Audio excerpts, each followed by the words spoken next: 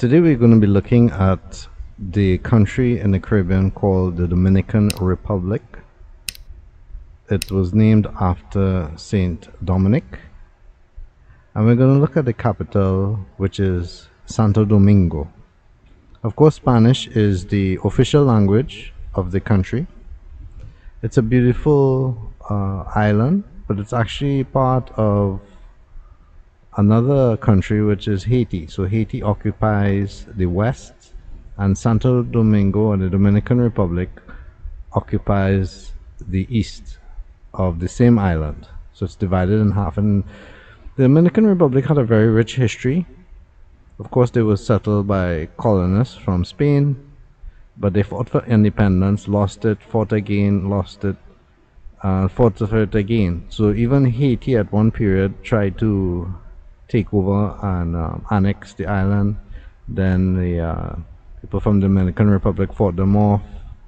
Then the Haitians would try again. Then others tried. They had many civil wars, even U.S. occupations at times. So it has a rich history, but it has a fast-growing GDP and is considered one of the uh, richer countries in the Caribbean. So let's have a look at the Dominican Republic.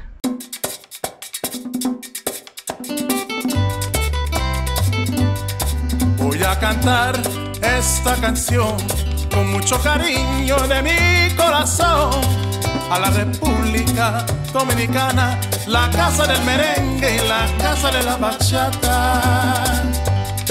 Voy a cantar esta canción con mucho cariño de mi corazón a la República Dominicana, la casa del merengue y la casa de la bachata.